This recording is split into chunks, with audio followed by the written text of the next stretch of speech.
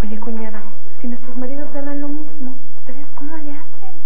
Cambiaron su video por un DVD. Y el mismo mes estrenaron tele.